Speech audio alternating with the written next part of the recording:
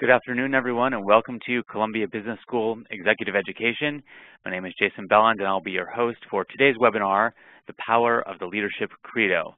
Coming to you today uh, live from our, our offices here in New York City. And before we begin, I just want to thank all of you for being with us today. We have a truly global audience uh, with us today, and that includes many members of the Columbia Business School alumni community, past participants of our executive programs, and uh, a number of folks who are uh, currently uh, following us in, our, in our LinkedIn group.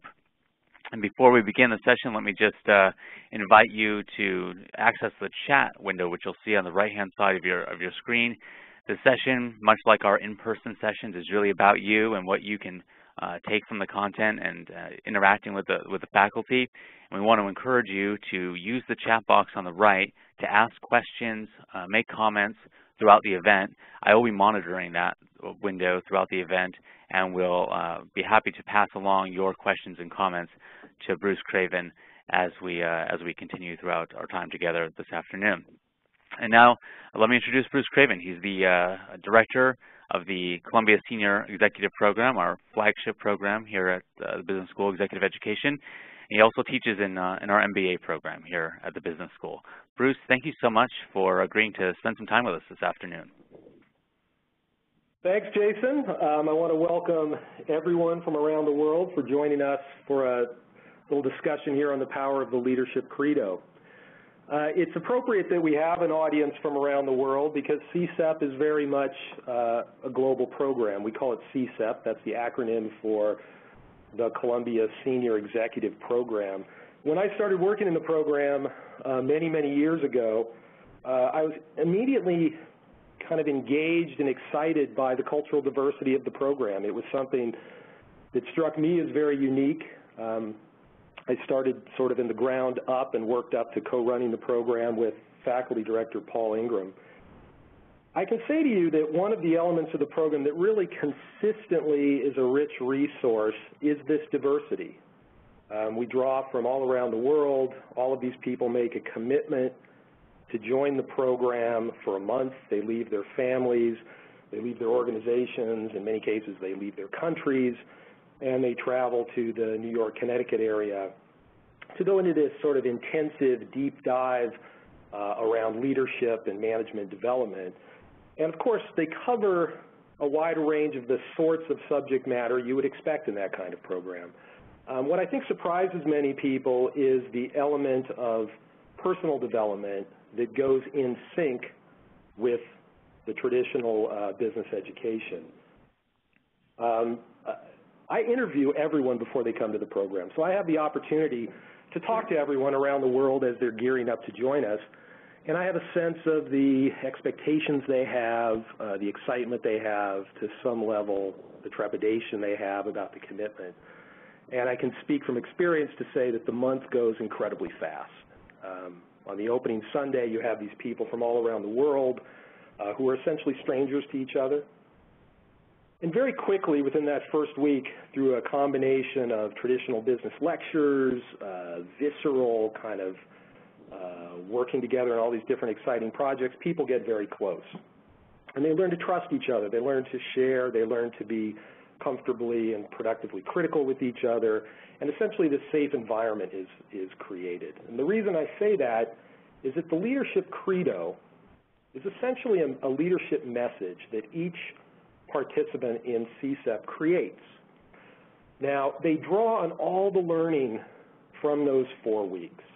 So the credo itself is essentially three questions, and you answer those questions. It's, it's if you will, imagine kind of it as a, a structure or a format for creating a talk that you'll give that presents to any constituent, whether it's your direct reports, your peers, uh, outside people, the press, other organizations, customers.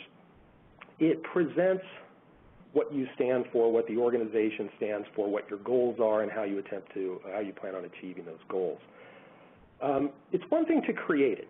Anyone can pretty much answer those three questions. It's another thing to answer those questions in the very intense environment that CSEP creates, an environment where every day people are learning new things. They, you'll all have a learning journal which you will keep, and you'll capture specific, unique, individual ideas in that journal. So at the end of the month, each journal will be completely different.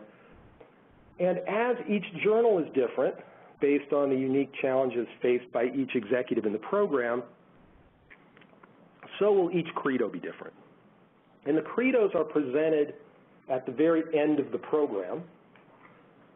Uh, you will have each individual works in a learning group. So this learning group, in addition to the large community of learning that's built with all the participants in the program, there's a small subgroup where you work very closely through the month. At the end of the program, each individual will present their credo to their learning group. So a special sort of empathy and trust and, and uh, collegiality has been built in that group. And you'll present your credo. Your colleagues will offer you some advice. They'll coach you on it. They'll critique you on it in a productive way. Um, and then a representative from each learning group will go out and present their credo to the whole class. So the reason I'm taking you to sort of envision this is that on the first day of the program, you have essentially a group of strangers. At the end of the program, you have this this community that's been built, and you have executives from all around the world, numerous industries, numerous cultures, you know, numerous individual leadership styles, who all get up and they present their credos. And it's a very evocative, powerful moment in the program. Uh, more importantly, from what I hear with people who I coach maybe six months, eight months down the road, it's very important for each executive because they have an opportunity in this safe environment to formulate and capture and shape what they really stand for as a leader. And when they go back to their organizations, then the real world sort of closes around them and they have the confidence of this message to both guide people that are looking to them for leadership and also uh, to guide themselves.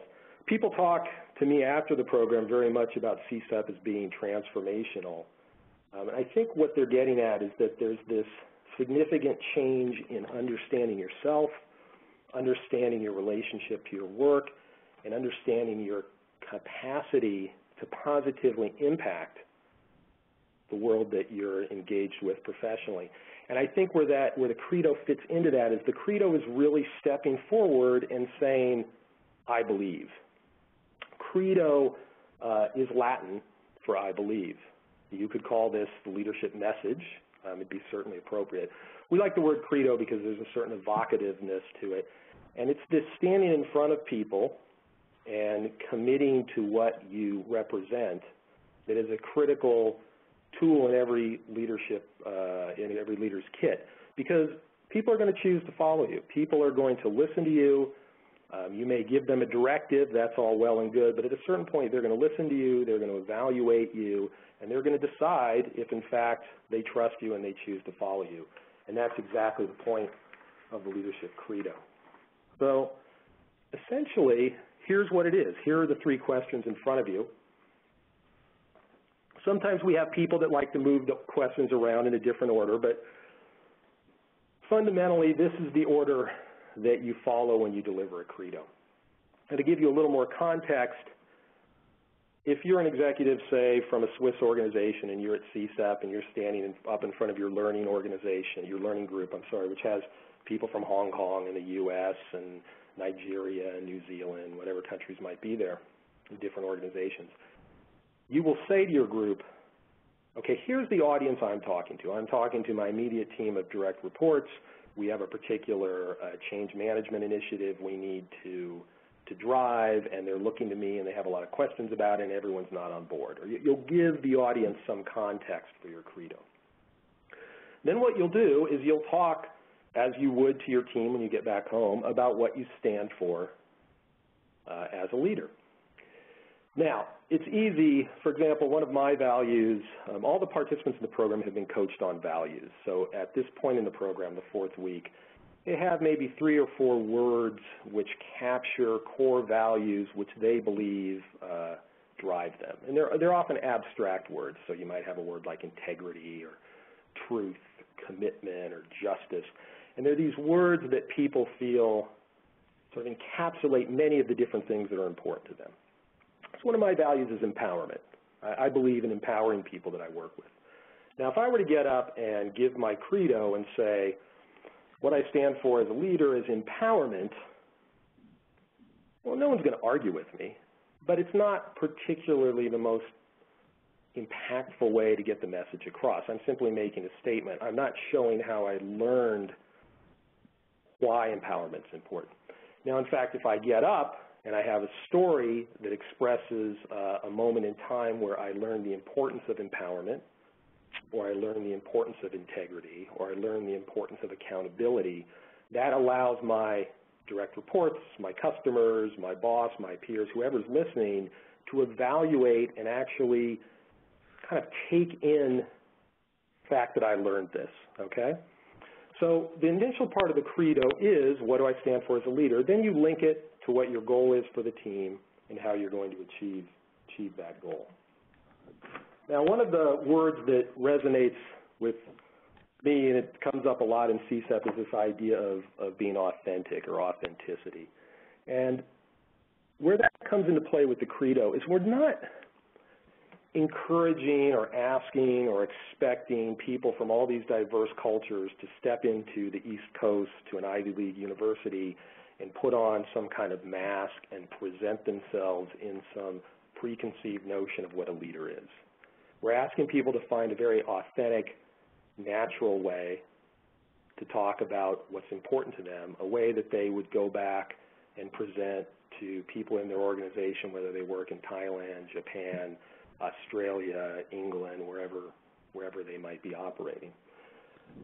I think why authenticity is something that comes up so much in executive education in the world of business is because people know it's, they recognize it when they see it, and they know it's not always a given. So if someone can be, have integrity, they can be dependable, they can be accountable, that's a quality that matters in a leader. Um, if you can have your feet on the ground. Uh, we don't ask people at CSEP when they're creating their credo to try to be someone else. We ask them and we work with them and we draw on sessions throughout the program to help them to be themselves, just to be themselves with more awareness and more ability to impact others and get their leadership message across. A, a metaphor that I like uh, that I think captures some of this around authenticity is uh, Bill George, who, who teaches at Harvard, wrote a book on authenticity and another book called True North. And he talked about the idea that if you can envision your life as a house, so maybe the living room is the social function of your friends and that sort of thing. Maybe the kitchen is the domestic part of your immediate family. Maybe there's uh, an area where you play sports or a rec room. Maybe there's an office where you work. That's the professional part of your life. If you can move through the different rooms of your house and essentially be the same person, be able to access the same ideas, use the same language, and not have to shift and adjust radically, then you have a certain element of authenticity which comes across to people that that meet you in a professional environment. People, you know, there's a, there's a transparency to you that people find engaging and trustworthy. And the credo, the credo drives this. Now, I was one of the things we do in the credo, of course, is this idea of having a story. So a story that can be used to show other people where you learned something. Now, you may draw an experience from a colleague who you saw once who inspired you. Very often you may draw an experience where uh, a mentor, you know, a, a leader, maybe a coach when you were younger, someone sort of showed you the right way and you, you try to live up to the values exemplified by that person. You may also look back at your own life and realize that there were times where you stumbled or times where you faced adversity, um, and you can draw on that. An exercise, if, if, you look at the screen in front of you, this, this rather playful uh, drawing represents an exercise we do called the lifeline. And each participant will take a big piece of flip chart paper, and they'll start at the bottom with the year they were born, and they'll draw a line, and they'll put all the you know relatively significant events in their life. When they were married, who they're married to, what school they went to, first child, big job. Um, and then they'll put other events in, maybe an adventure they had, a hobby they developed, uh, a journey they went on. Uh, you know, maybe they'll put in some things where they struggled. Maybe some moments where things didn't turn out quite right. Maybe a moment where they overcame great odds. And we'll have all of the participants in CSEP create these and then share them, you know, two people will share with each other and maybe then three people will share their lifeline. A couple things happen. One thing is that people start to realize the richness of wisdom and experience in the room, so maybe 30 to 50 executives from around the world, there's been a lot of experiences. So people start to realize that that's something that they can draw on through the month.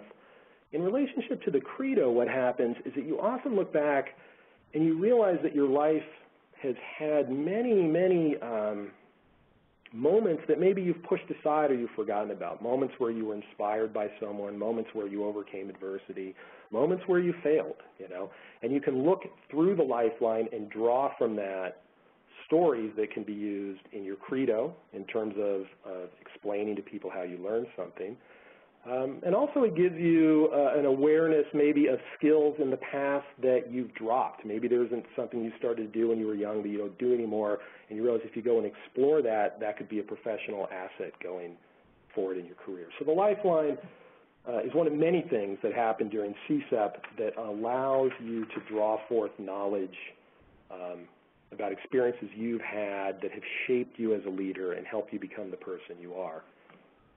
Now, you know, struggle is something that most of us don't want to face for obvious reasons. We don't like it. It's much easier when things go smoothly. Yet often struggle is really where we're tested. It's where we become uh, the people that we are in an admirable way. Uh, it's where our values sort of are shaped and formed.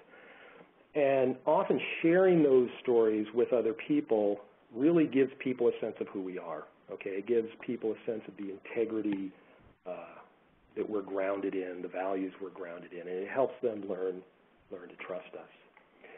So when I gave my credo at CSEP, I had three values out of I think four or five that came from my coaching. They were serenity, empowering, energizing. Now I chose to weave those all into my credo. Many people might use one one value in their credo. There's no real hard, firm rules about it. I use an example of my involvement with the Columbia Senior Executive Program after 9-11. Now, as you can see, the credo that I finally created exists at present on three index cards with bullet points. Now, initially I wrote it all out. I typed out maybe five or six pages to sort of try to capture the information. But we asked people then to distill it down into these bullet points on a card because we asked people when they present it to their group at CSEP we don't want people reading the script. We don't want people looking up and sort of looking back down and maybe having lost where they were on a particular sentence and struggling. We want people to take ownership of what they're saying. It's, it's that truthfulness, that veracity of taking ownership that's far more important than the specific words. And we encourage people to understand, look, if you tell your credo five times to five different groups and it's slightly different each of those five times, that's perfectly valid. What's important is your sense of owning the message you're trying to get. So in my case, uh, who am I? I talked about uh, arriving in New York City the day of September 10th. I'm going out for a run, feeling rather sorry for myself. I was feeling plateaued at my job. I wasn't feeling particularly inspired.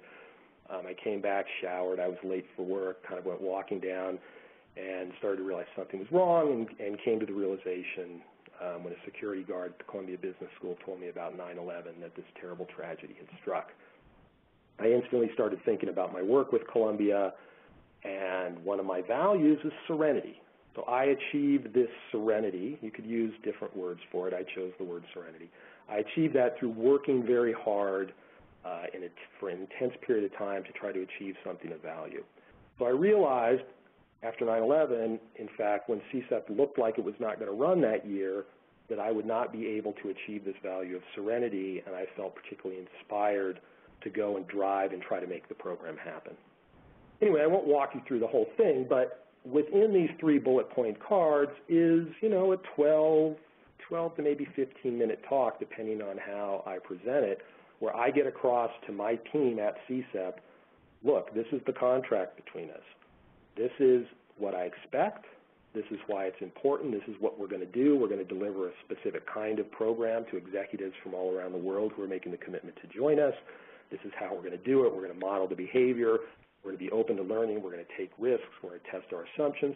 And also, this is what I'm offering back to you. I'm going to be empowering you through this project because at one point in my life, I felt very plateaued. I did not feel empowered. I know what it's like to be on the wrong side of that arrangement, and I'm committed to offering empowerment to you, my team. So my credo is essentially a contract between me and my team about what we're going to achieve. Um, I remember a few years back walking down Broadway with a number of people in the CSEP program, and Mohammed, uh, a Saudi, was asking me about it. And I sort of described the process. We hadn't got into a formal introduction yet, and he looked up at me with this sort of, you know, interested, engaged look, and he said, well, the credo is proactive. And it's always struck me that this is really the value of, of this exercise, is in the safety of CSEP, you create this document, or I mean, sorry, this, this talk that's available for when the unknown hits you. Um, it's really all about taking people with you. Um, there's no firm rules how you do it. We encourage everyone to do it in a unique way. But to take people with you, they have to choose to follow you. So you have to be able to stand up in front of people and say, here's what I stand for, here's what I'm asking you to do, do you choose to follow me? Um, many years back when we initially started using the Credo, we had a woman who was with the U.S. Postal Service, and she um, said, look, this isn't my kind of thing. I'm not an extroverted leader. I'm a very quiet person. I work for the Postal Service. I just do my job. You know, I, I get rewarded for doing what I do. I'm not a leader. So we worked through the credo anyway, just so she would have it. She went back home, and her boss said, look, I'm going to transfer you from Ohio down to Mississippi. I want you to relax. There's a promotion coming soon. Um, you know, but just take some easy days down in Mississippi. It's an easy job. It's nice weather. Enjoy yourself. And so she went down, and, and as you can tell from looking at the slide, what happens, but the Katrina hurricane hits, and the whole area is decimated, and she's suddenly thrust into this position of, you know, following her values, which is that postal service work matters, and she wants to be the right person, the right leader in a time of crisis, and she pulled her credo out of her, her hip pocket, essentially, and started using it in terms of communicating with the press, communicating with people in our organization, communicating with relief organizations, communicating with everyone. She said, look, this is what we stand for, this is our values, this is why we're important, this is what we're trying to do under crisis. And she was instrumental in restoring the normal post office operations as well as leading search and account operations for nearly 750 employees, uh, establishing support, counseling. I mean, she really was there when she was needed. Um, she won a governmental award for that. We have a number of these kinds of examples. Now, more often what it is, is it's people going back and, and just managing the kind of conflicts and challenges that come up over, you know, your normal time at work. I spoke with a guy yesterday who was in our last CSEP, Australian with the Financial Services Organization in Melbourne, and he said really the credo, you know, helps him remember his core values and express them in a very coherent way. And since CSEP wrapped you know, two months back, he's been able to use it informally on one-on-one talks with people in his organization that he had some conflict with, and they've been able to to find resolution. So uh, I'm going to touch on this just very quickly, but there's a, a reading from Robert Quinn, Entering the Fundamental State of Leadership, and he talks about this idea of moving from being kind of in a comfort zone, if you look at the top, the top box where you shift from remaining in your comfort zone to moving toward possibilities that don't exist. And the credo is very much about that. It's very much about saying, look, am I results-centered? Do I want to make something happen? If I want to make something happen, I've captured those ideas to myself here, and I'm now going to go out and I'm going to use this one-on-one -on -one with my direct reports. I'm going to use it with my boss. I'm going to use it with customers. I'm going to keep this message front and center both to guide me and to the guide the people that I need to lead to achieve what we need to achieve. There's a number of sessions here that throughout CSEP are drawn on uh, in developing the credo. We have actors come in and work with you on sort of using your body as an instrument. Uh, there's there's a number of different sessions that that play into this. But I think probably the most important thing is you've built this great community at the program and you take the responsibility for saying, hey, this is what I stand for and this is important and I'm going to go out and use this message to motivate others to achieve what we need to achieve. Bruce, I think I think this is a great time for uh, a couple of questions, if you don't mind. Um, sure. Yeah. Thanks. Is that all right? Yeah. Um, this is a really great stuff, and uh, it's really um, you know amazing that as you're talking about uh, other folks uh, putting together their credo and thinking about the personal stories that you've also shared your own uh, personal lifeline and some stories with us uh, as well. Um, I want to ask you how you might respond to folks who are thinking about this idea of authenticity and thinking about how in some cases it might be sort of at odds with succeeding in a corporate culture. How, yeah. how do you respond to that? Yeah, well, I think if, uh, you know, if I'm understanding the question right, I mean, you, authenticity to me does not mean continually expounding your opinions and being perpetually transparent in an unproductive way. I mean, in, in a corporate organization, there's obviously a lot going on in terms of different people's stances and different people's agendas. Um, I think authenticity is more understanding what you're accountable for, what you stand for, and, and being comfortable in expressing that appropriately as you pursue your goals. Uh. So it's not it's not about a confessional right. of your opinion so much as it's about being uh, being reliable. You know, having your feet on the ground with people, being this, you know, being a person that can walk in the room even when you're under pressure and yet not project that pressure and that anxiety onto everyone else around you. Um, and the credo is, is an instrument of that because the credo, you know, for for example, my credo, serenity, energizing, and empowerment. If I stay focused on those three values and I'm having a rough day and I walk in the office, um, I can help lead myself to not project my anxiety out on other people, but to remember that my job is to energize the people that I work with at CSEP, my immediate team, the hotel staff, the faculty, um, energize the customers, the participants that make the commitment to fly into the program. You know, so it's, it's around helping guide yourself to be the best person you can be. And, and I don't think that's always easy. You know, I think that's why it's important.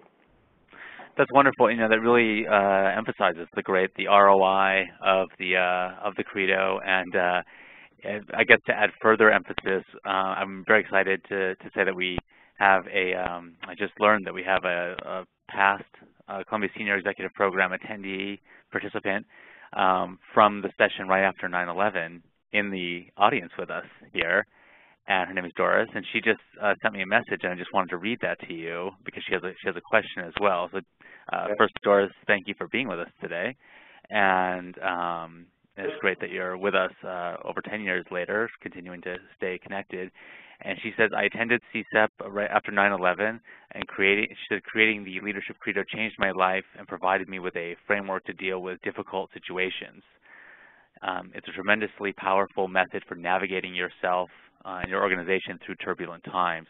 And her question to you is, what is the next step after the Leadership Credo?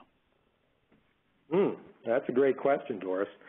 Um, well, as she probably knows, I'm also a writer, um, and I do think I, there's a, a, business case that's been written at Columbia by Bill Klepper and Yoshi Tomizumi um, that's going to be uh, available at a certain point. And one of the things they talk about is the importance of writing in self-discovery, in, in sort of getting an understanding of the environment around you and being prepared for the unpredictable. Uh, and and I'm not sure I have an immediate answer for Doris, and, and it's actually such a good question. It's going to get me thinking about maybe some ways to answer it in a more fulfilling, substantial way down the road. But I do think the act of, of writing and thinking reflectively about the world that you've been engaged in is something that you can pursue um, in terms of trying to come to more understanding about the world you're in, basically, and, and anchoring yourself more firmly uh, in what's important to you so that when crisis rears its head, you're prepared for it. And I will say that, that this comes up all the time. I mean, people come go back after CSEP and six months later, the world that they are in professionally for any number of reasons is radically different from the world that they were in when they joined CSEP. And the credo is one of the things that often comes up as uh, a way of guiding them, uh, instrument that they use to try to navigate the unpredictable uh, environment that they're in. Bruce, this is great. Thank you so much. And uh, I just want to, we have uh, one uh, last question we can get to. Um, folks are, are wondering, you know, they're interested in the, the Credo and they want to know, um, you know, beyond, of course, attending the Columbia Senior Executive Program, are there any resources or uh, books that you might suggest if folks are just interested in exploring this a little bit more on their own? Yeah, well, there is going to be this. There is going to be this case that will come out. That will be made available soon uh, on the Columbia CaseWorks. That comes to mind.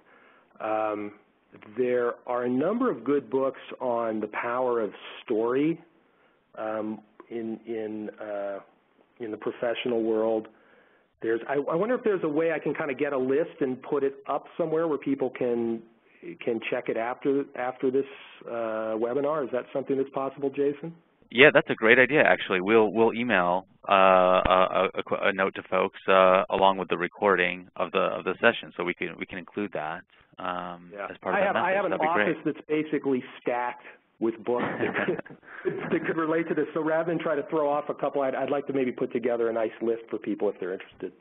Yeah, that sounds wonderful. Thank you so much for that uh, generous offer. And, uh, you know, actually we're at the end of our 30 minutes uh, together. So um, I do want to thank you, Bruce, for, for all the great uh, thoughts that you've given us today. And a big thank you to everyone who's been in the room with us. You know, we had some alumni of the business school, some folks uh, actually who attended CCEP, a number of folks who are just connecting with us for the first time. So it's, it's a great group of executives um, and it's uh, great to have you all here. So thank, thanks again, Bruce, for taking the time to, to lead us through this today. Well, I want to thank you for setting it up, uh, and I want really want to thank everyone for joining because it's been uh, a real pleasure for me. So hope to see you guys down the road. Yes, thanks thanks again and uh, for, for attending. And I definitely, if you're not already in our group on LinkedIn, I definitely invite you to, to join us there. We have a number of conversations happening there. Um, we really encourage you to post your thoughts and ideas and get involved with uh, a group of executives that are part of that network. And I uh, hope to see you again soon, either at an upcoming Columbia uh, Executive Education program uh, or, of course, at another online event. Thanks again. Take care, and I wish you all the best th through the holiday season and a happy 2013. Thank you.